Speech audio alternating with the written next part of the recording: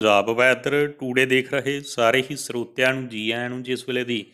ਵੱਡੀ ਖਬਰ ਦੋਸਤੋ ਤੁਹਾਡੇ ਨਾਲ ਸਾਂਝੀ ਕਰ ਰਹੇ ਹਾਂ ਜੀ, ਸਾਵਧਾਨ ਹੋ ਜਾਵੋ, ਪੰਜਾਬ ਦੇ ਖੇਤਾਂ 'ਚ ਹੋਣ ਲੱਗ ਪਿਆ ਇਹ ਕੰਮ।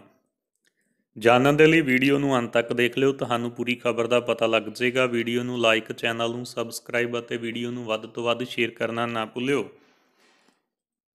ਬਹੁਤ ਸਾਰੇ ਲੋਕਾਂ ਦਾ ਭਾਰੀ ਜਾਨੀ ਅਤੇ ਮਾਲੀ ਨੁਕਸਾਨ ਹੋ ਗਿਆ ਹੈ, ਪੰਜਾਬ ਦੇ ਵਿੱਚ, ਖੇਤਾਂ ਦੇ ਵਿੱਚ ਫਿਰ ਇਹ ਕੰਮ ਹੋਣ ਲੱਗ ਪਿਆ। ਪ੍ਰਾਪਤ ਜਾਣਕਾਰੀ ਦੇ ਅਨੁਸਾਰ ਇੰਨੀ ਦਿਨੀ ਫਗਵਾੜਾ ਦੀ ਆਉਣ ਵਾਲੇ ਪਿੰਡੂ ਇਲਾਕਿਆਂ ਦੇ ਵਿੱਚ ਲੁੱਟ ਖੋਹ ਅਤੇ ਚੋਰੀ ਦੀਆਂ ਘਟਨਾਵਾਂ ਵਿੱਚ ਲਗਾਤਾਰ ਵਾਧਾ ਦਰਜ ਕੀਤਾ ਗਿਆ, ਜਿੱਥੇ ਚੋਰਾਂ ਵੱਲੋਂ ਸ਼ਰੇਆਮ ਪਿੰਡ ਦੇ ਵਿੱਚ ਮੋਟਰਾਂ ਦੀਆਂ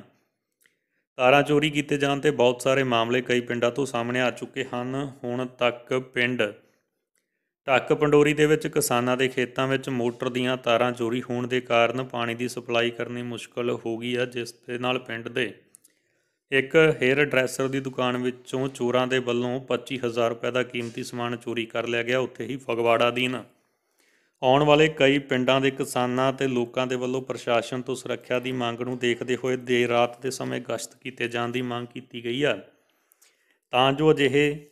ਸਮਾਜ ਵਿਰੋਧੀ ਅਨਸਰਾਂ ਨੂੰ ਕਾਬੂ ਕੀਤਾ ਜਾ ਸਕੇ, ਪੁਲਿਸ ਦੇ ਵੱਲੋਂ ਅਧਿਕਾਰੀਆਂ ਵੱਲੋਂ ਆਪਣੀ ਸਮੱਸਿਆ ਨੂੰ ਵੀ ਜ਼ਾਹਰ ਕੀਤਾ ਗਿਆ। ਉਹਨਾਂ ਦੱਸਿਆ ਕਿ ਥਾਣਿਆਂ ਦੇ ਵਿੱਚ ਮੁਲਾਜ਼ਮਾਂ ਦੀ ਘਾਟ ਦੇ ਕਾਰਨ ਪਿੰਡਾਂ ਦੇ ਵਿੱਚ ਗਸ਼ਤ ਦੀ ਸਮੱਸਿਆ ਆ ਰਹੀ ਹੈ ਜਿਸ ਵਾਸਤੇ ਸਰਕਾਰ ਨੂੰ ਹੱਲ ਕਰਨਾ ਚਾਹੀਦਾ, ਕਿਉਂਕਿ ਸਟਾਫ ਦੀ ਕਮੀ ਦੇ ਚੱਲਦਿਆਂ ਕਈ ਤਰ੍ਹਾਂ ਦੀਆਂ ਮੁਸ਼ਕਲਾਂ ਆ ਰਹੀਆਂ ਨੇ। ਫਗਵਾੜਾ ਦੇ ਅਧੀਨ ਆਉਣ ਵਾਲੇ ਪਿੰਡਾਂ ਵਿੱਚ 72 ਘੰਟਿਆਂ ਦੌਰਾਨ ਹੀ ਅੱਧੀ ਦਰਜਨ ਤੋਂ ਵੱਧ ਚੋਰੀ ਦੀਆਂ ਘਟਨਾਵਾਂ ਸਾਹਮਣੇ ਆਈਆਂ ਨੇ। ਦੋਸਤੋ, ਤੁਹਾਡੇ